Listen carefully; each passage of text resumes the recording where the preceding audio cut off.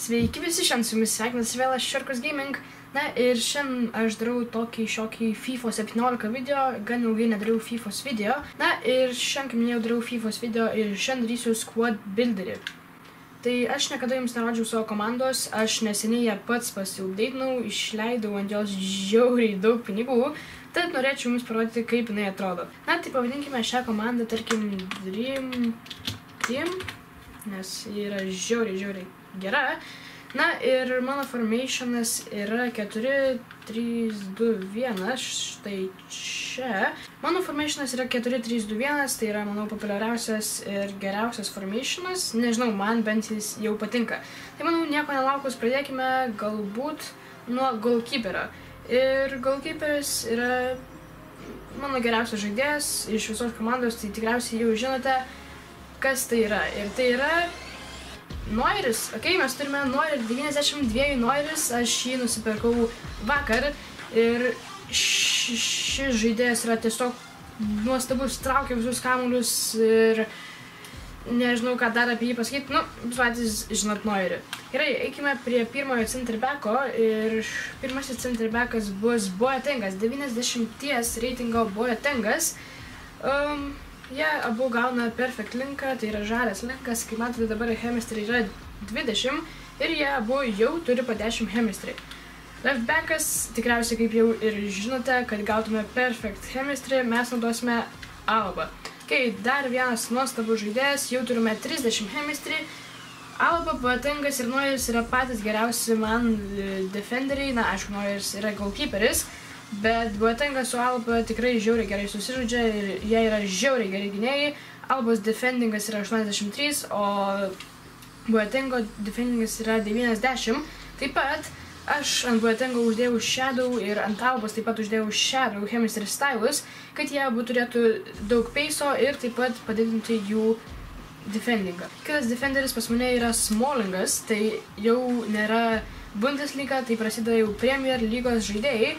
Aš darysiu hybridą, tai kaip matote Smallingas, man jis žiauriai patinka, jis yra žiauriai aukštas, labai gerai aukšti žaidėjai, kai darome corner kickus, tai jis tiesiog aukštai šoka ir gali mušti golus, jo defendingas yra 84 ir peisas yra 77. Toliau right backas yra Walkeris, jis yra žiauriai, žiauriai irgi geras žaidėjas, o geras tik dėl to, kad pas jį yra 90 peiso, aš buvau nusipirkęs Bellerin, Screamer, kur buvo peisas jo maždaug 97 berots. Jis buvo žiauriai geras, bet jo defendingas buvo labai labai toks žemas. Tad nusprendžiau nusipirkti Walkerį. E, jo defendingas nėra pats prašiausias, 78, bet jis man patinka.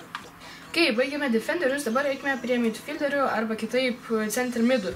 Tai pirmasis center midas net nebus center midas, e, tai bus, bus right midas ir tai yra Mülleris, okei. Okay. Mes pirmajame centimide turime Informa Müllerį, tai yra žiauriai, žiauriai, man patinkantis žaidėjas, taip pat jam uždėjau Hulk uh, Chemistry Style, 79 pace, 87 shootingas, 80 driblingas, 80 pasas, na ir truputėlį mažokas defendingas, bet kaip right midui tai yra nieko keisto. Kitas centrimidas taip pat yra ne centrimidas, o right midas ir taip kaip jau pastebėjote tikriausiai, tai mes turime ir Viljaną. E, šis žaidėjas man taip pat žiauriai, žiauriai, žiauriai patinka. Um, aš tą, tą patį sakau visų žaidėjų, bet nežinau, ką dar pridurti. Bet šis žaidėjas yra žiauriai, žiauriai awesome, nes jis turi 89 pace, 80 passingą ir 86 driblingą. Ok, paskutinis centrimidas ir tai yra jau centrimidas, nes visi buvo kiti right midai. Ir, ir, ir, ir šis žaidėjas yra untradeable, jis padarytas iš Squad Building Challenge ir tai yra Dele Ali. Ok, aš šiam žaidėjai išleidžiau, išleidžiau, išleidau žiauriai daug pinigų, nes jo Squad Building Challenge labai daug reikalavo jų.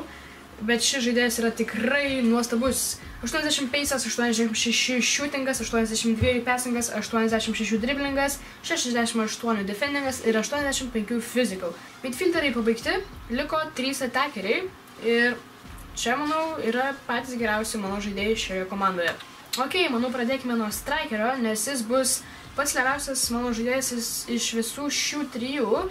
Ir tai yra Walcottas, Man of the Match Walcottas. 86 reitingo, ši kortelė yra žiauriai, žiauriai greita.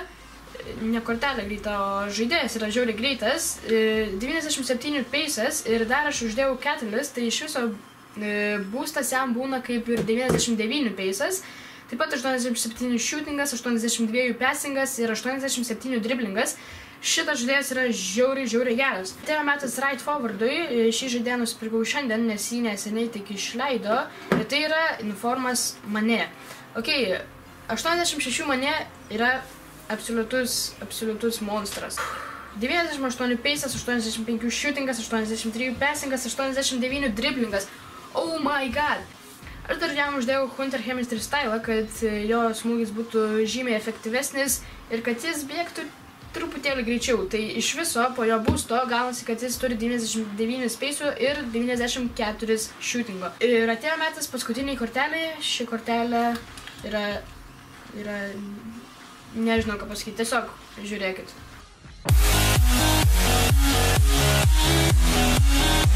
Okay. Aš norėjau pirkti 92 uh, Hazardą, bet man pritrūko šiek tiek pinigų, tad nusipirkau 89 uniformą Hazardą, bet š, ši kortelė yra vis tiek nesveika. 91 paces, 84 shootingas, 84 passingas ir 92 driblingas. Dar uždėjau Hunter Chemistry Stylas, tai jo paces yra 99. Wow, ok, štai mano komanda, uh, jinai turi 94 chemistry, tačiau mes įdedam managerį, tai yra klopas, nežinau kaip jis tarėsi, ir bum, 100 semestrį. Ir mūsų reitingas yra 187, tai štai ir ta mano komanda, kurią aš pasidariau. Um, su ja aš sužaidžiau tik 3 žaidimus kol kas, e, bet jinai yra nuostabi ir visus žaidimus aš tuos laimėjau ant kokių 4 taškų.